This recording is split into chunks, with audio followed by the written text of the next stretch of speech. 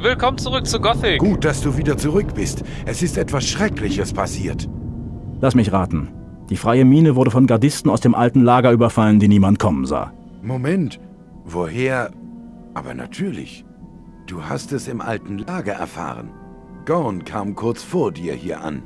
Was kann Gomez nur veranlasst haben, solch einen aggressiven Schritt zu wagen? Ihm müsste klar sein, dass dieser hinterhältige Überfall einen Krieg heraufbeschwört. Tja. Die alte Mine wurde nach einem Wassereinbruch verschüttet. Verschüttet. Natürlich. Dann gibt das Ganze langsam einen Sinn. Gomez steht mit dem Rücken zur Wand. Er ist gefährlicher denn je geworden, denn nun, wo er nichts mehr zu verlieren hat, wird er zu allem fähig sein. Gomez hat alle Feuermagier töten lassen. Töten lassen? Wieso bei Belia hat er so etwas getan? Sie waren gegen den Überfall auf die freie Mine und stellten sich gegen Gomez. Dann sind wir alle verloren. Ohne die anderen sechs Magier werden wir die geballte Kraft des großen Erzhaufens nicht kontrollieren können. Ich danke dir trotzdem dafür, dass du diese gefährliche Botschaft an mich überbracht hast. Naja, jetzt mach mal langsam. Als du mich zu den Feuermagiern schicktest, erwähntest du einen weiteren. Jemand. Nun, ich hoffte, wir würden ohne seine Hilfe auskommen. Aber so wie die Dinge stehen... Wer ist dieser jemand? Also gut, also gut.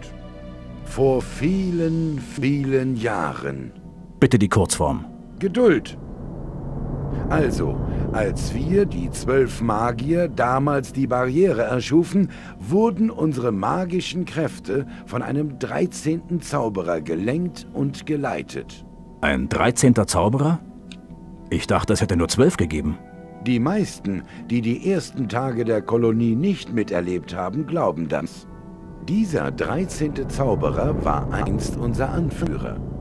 Das alles war, bevor wir uns in den Feuer- und Wasserkreis zerstritten haben. Doch er verließ das alte Lager, das damals noch das einzige Lager in der Kolonie war. Wie heißt dieser 13. Zauberer? Sein Name ist Xardas. Kaum einer kennt noch die alten Geschichten über ihn. Die, die es tun, nennen ihn nur den Dämonenbeschwörer. Warum verließ er das alte Lager? Er begann sich intensiv mit der Beschwörung untoter und magischer Wesen zu beschäftigen. Das beunruhigte nicht nur Gomez. Selbst die meisten der anderen Magier lehnten sich gegen ihn und sein unheiliges Treiben auf. Was passierte dann? Er war, anders als Gomez, kein Schlechter. Also ging er dem Konflikt aus dem Weg und verließ die anderen. Wo kann man diesen Zauberer finden? Er lebt heute zurückgezogen in seinem Turm mitten im Orkgebiet. Das ist so ziemlich der südlichste Ort der Kolonie. Ich werde zu Xardas aufbrechen und ihn um Hilfe bitten. Er ist der Einzige, der uns jetzt noch helfen kann. Wenn er keinen Rat weiß oder uns nicht helfen will, Er wird. da wäre noch ein Problem. Ein Problem? Ja, wir haben in den vergangenen Jahren öfters versucht, mit Xardas Kontakt aufzunehmen. Doch er scheint wohl lieber ungestört zu bleiben. Was bedeutet das? Keiner der Boten kehrte je von seinem Turm zurück. Du wirst einen Weg finden müssen, an seinen Kreaturen vorbeizukommen. Es scheint also weiterhin interessant zu bleiben. Wie werde ich mit seinen Kreaturen fertig? Wenn ich es wüsste, würde ich es dir sagen. Am besten, du betreibst etwas Nachforschung in unserer Bibliothek. Haha. Vielleicht wissen die alten Bücher etwas über Stärken und Schwächen von magisch beschwörten Kreaturen. Ich werde die Bibliothek durchstöbern. Und mach dir keine Sorgen. Ich komme wieder. Nefarius sagte, ich Was? sei bereit, die Robe der Wassermagier zu tragen. Was? Nein? Dann heiße ich dich in unserer Gemeinschaft willkommen. Heißt das, ich gehöre jetzt in die Gilde der Wassermagier? Noch nicht. Du musst erst den Eid des Wassers ablegen. Ich bin bereit, den Eid abzulegen. Sprich nun die Worte des Eides. Ich schwöre bei den Mächten der Götter Ich schwöre bei den Mächten der Götter und bei der Kraft des heiligen Wassers, und bei der Kraft des heiligen Wassers, dass mein Wissen und Handeln von nun an und auf ewig mit dem Wasser verbunden sei. Dass mein Wissen und Handeln von nun an und auf ewig mit dem Wasser verbunden sei. Bis ich einkehre in Belias Reich und der Quell des Lebens versiegt. Bis ich einkehre in Belias Reich und der Quell des Lebens versiegt. Trage diese Robe als Zeichen deiner Verbundenheit zum heiligen Wasser und zu Adanos.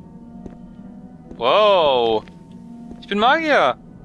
Und die Rüstung ist hm, bis auf die bis auf den Pfeilschutz äh, hm, ein Stück weit besser sogar als die mittlere Söldnerrüstung. Coole Sache. Hallo. Ich habe Diego und Milton vor dem alten Lager getroffen. Eine gute Nachricht. Sie wollen sich mit dir und Lester treffen an eurem üblichen Treffpunkt. Danke. In diesen turbulenten Zeiten sind gute Freunde unersetzlich. Auch du gehörst mittlerweile schon fast zu uns. Auf dich ist Verlass. Was hast du jetzt vor? Die gesamte Verteidigung unseres Lagers muss nun umgestellt werden. Das braucht Zeit. Bis Lee und seine Leute soweit sind, werde ich mich erstmal Korts provisorischen Wachposten anschließen. Plant ihr einen Gegenschlag? Noch nicht. Aber der Tag wird kommen. Wenn du mich suchst, gehe von hier in Richtung Mine. Dort werde ich meinen Posten beziehen. Äh, warte mal, Milton will dich treffen. Hallo. Wie ist die Lage? Alles ruhig. In der freien Mine rührt sich nichts. Lee ist noch damit beschäftigt, unsere Verteidigung zu organisieren. Okay, das weißt du hier schon Bis im Lager. später. Äh, komisch, aber immerhin weiß ich jetzt, wo ich Lee finde. Um äh, meine, vielleicht die starke Söldnerrüstung zu kriegen. Magie zu Ehren. Ja, ja, ich will, ich will die magischen Kreise lernen. Wer, wer von euch kann mir die beibringen? Saturas? Der da. Gut, dass du uns beigetreten bist. Was? Ich bin vernetzt. Kannst du mich heilen? Durch meinen Bau die Kraft der Heilung und lasse diesen Körper und den Geist gesunden. Wow, cool, danke. Zeig mir deine Ware. Äh, was ich vorhin geguckt habe, ist, ich bin Level 19. Aber ich kann immer noch keine Magie. Ich bin aber trotzdem Magier. Und das da war... Ah, Riordian, genau. Wenn du verletzt bist, werde ich dich heilen. Habe ich schon gemerkt.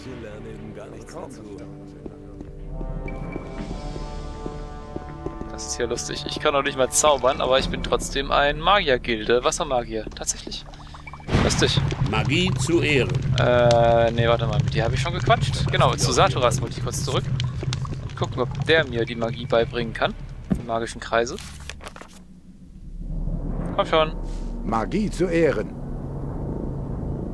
Uh. Kannst du mich unterrichten? Es gibt noch viel zu lernen für dich. Wenn du bereit bist, werde ich dich unterrichten. Ich bin bereit. Ich bin jetzt bereit, in den ersten Kreis aufgenommen zu werden. Den ersten der magischen Kreise zu betreten bedeutet die Anwendung magischer Runen lernen. Jede Rune birgt in sich die Struktur eines speziellen Zaubers. Durch den Einsatz deiner eigenen magischen Energie bist du in der Lage, den Zauber der Rune zu wirken. Doch anders als Spruchrollen, die auch eine Zauberformel sind, sorgt die magische Kraft, die der Rune innewohnt, dafür, dass die Struktur des Zaubers erhalten bleibt. Jede Rune ist eine Quelle magischer Kraft, auf die du immer wieder zurückgreifen kannst. Deine eigene magische Kraft verbraucht sich beim Benutzen der Rune, wie bei einer Spruchrolle. Mit jedem Kreis, den du lernst, lernst du auch die Möglichkeit, weitere Runen zu benutzen. Nutze die Kraft der Runen, um dich selber zu erkennen. Okay, wow. Damit habe ich ja immerhin schon mal äh, Licht, glaube ich. Und, ach, wisst ihr was? Scheiß auf die Söldnerrüstung. Ich will die da. Ich möchte die hohe Robe des Wassers tragen. Es ist noch nicht an der Nein. Zeit, dass du die hohe Robe tragen kannst. Was brauche ich denn dafür? Sag's mir doch. Mögest du in einem Stück zurückkehren. Muss ich dafür äh, einen gewissen magischen Kreis können? Oder muss ich dafür ein gewisses Level haben?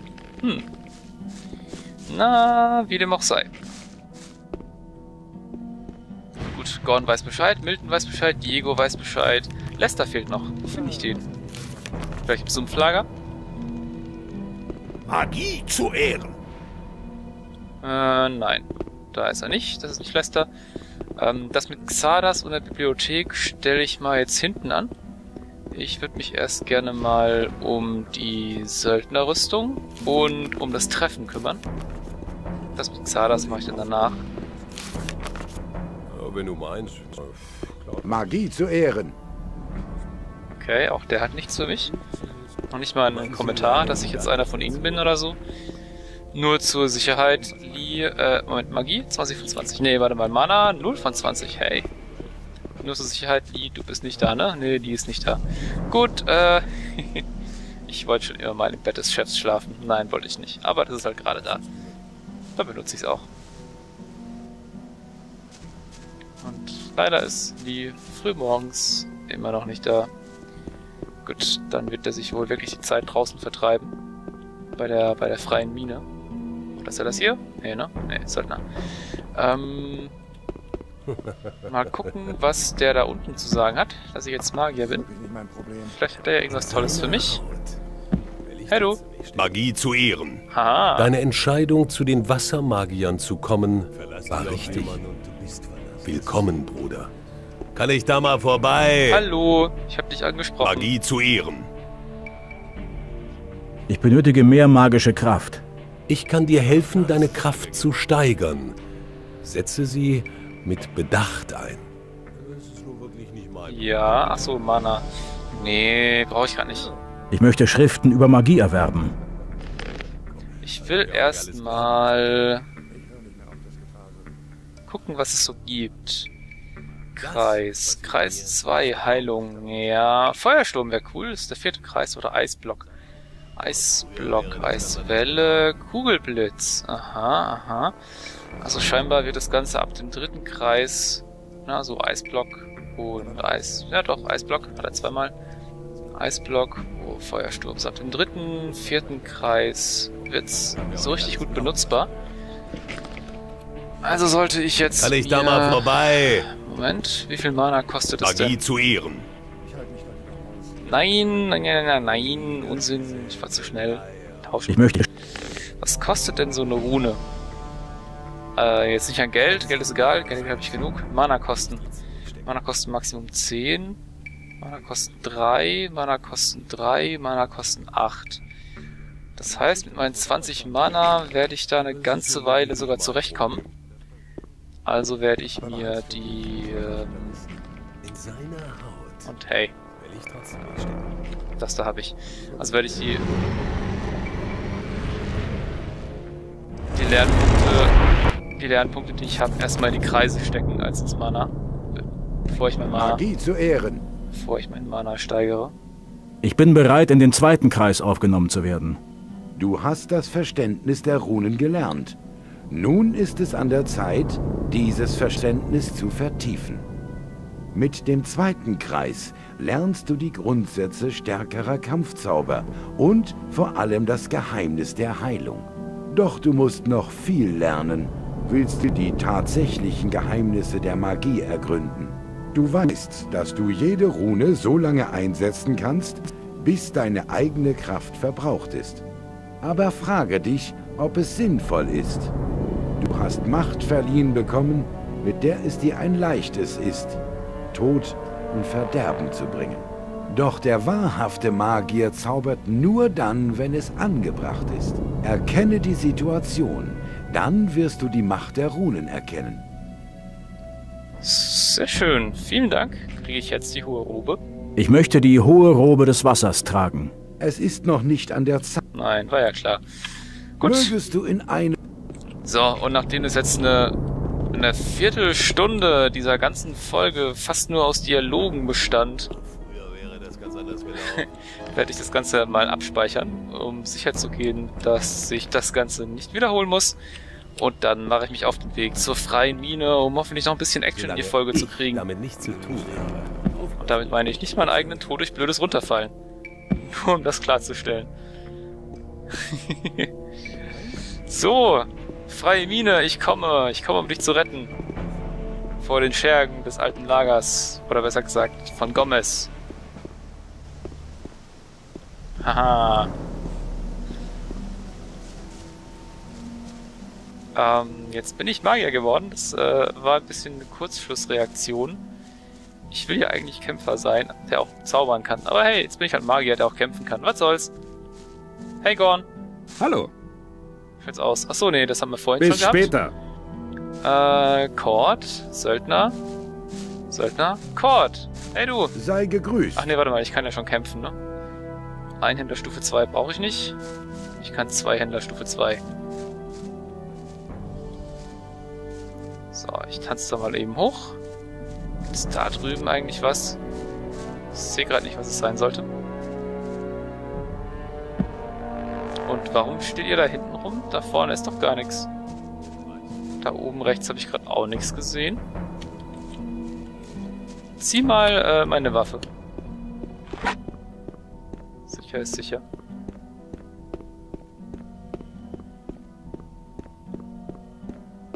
Na, komm schon. Spiel. Ich habe den Zuschauern Action versprochen.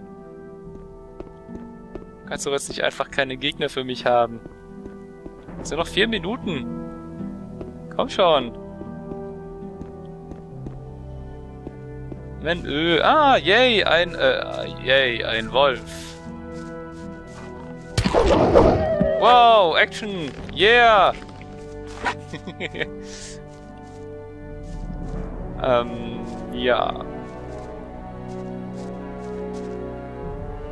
Wobei ich muss schon sagen, die neue Waffe und ein bisschen mehr Stärke, das, das geht schon gut ab. Kann man so sagen. Oh nein, da liegt ein Toter. Da speichere ich lieber nochmal. Bevor ich da selber umgelegt werde. Ein Söldner. Der hat eine Münze, auch mit einer Münze dabei. Das ist doch die Währung von außerhalb, die hier drin nichts wert ist. Na, vielleicht hat er gehofft, äh, rauszukommen. Das könnte ja sein. Schließlich hat das neue Lager ja einen Ausbruchsplan. Da ist der nächste tote Söldner und... Ah, looten. Was, was soll's? Looten, was das Zeug hält.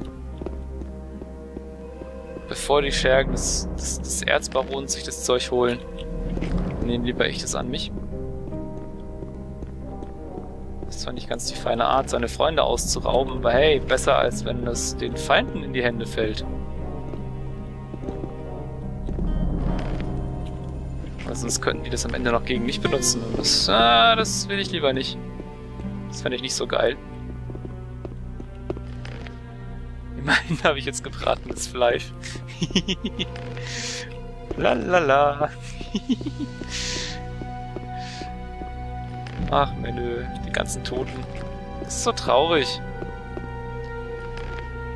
Immerhin kann ich jetzt hier mal in Ruhe erforschen. Oder hochklettern zum Beispiel. Ohne dass mich jemand aufhält. Okay, hey, mit dir habe ich auch schon geredet. Ah, Mist, eine fette Axt. Ah, tut mir leid, dass jetzt irgendwie doch keine Action mehr in die Folge kam. Da oben schaue ich mich dann äh, nächstes Mal oder so um. Jetzt gucke ich erstmal. Oh ja, die Waffe ist um einiges stärker als meine jetzige. Und ich kann die sogar tragen, weil ich 80 Stärke habe. Geiler Scheiß.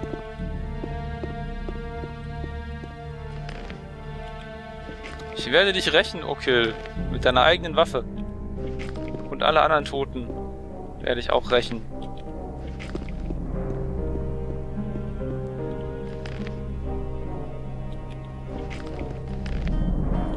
Swiney, du bist derjenige, der mir meine erste Rüstung gegeben hat.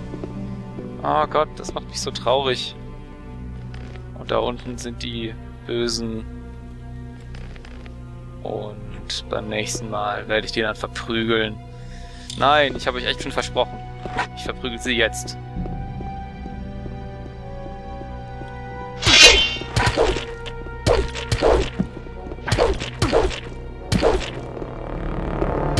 Nein! Nein! Nein! Nein! Ach verdammt, ich konnte den nicht anvisieren, weil die Leichen im Weg lagen. Mist, das ist ärgerlich. Da muss ich ein bisschen weglocken. Ah! Ich will Jekyll nicht töten, ich will Jekyll ansprechen. Falls es überhaupt geht. Jekyll? Sieh mal Sag ich doch, an. geht doch.